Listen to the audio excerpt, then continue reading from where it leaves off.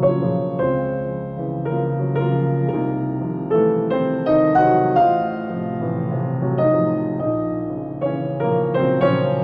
really think you're the most attractive girl I've met.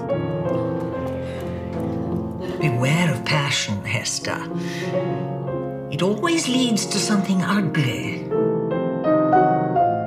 What people do in private is best left there. I neither condone nor condemn. Father, I came to you for advice. You have a husband. Your first loyalty is to him. I won't consent to a divorce. I intend to make it as difficult as possible for you. I never want to see you again. I love you so much.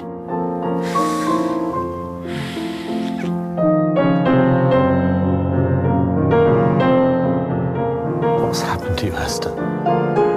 Love, 阿祖。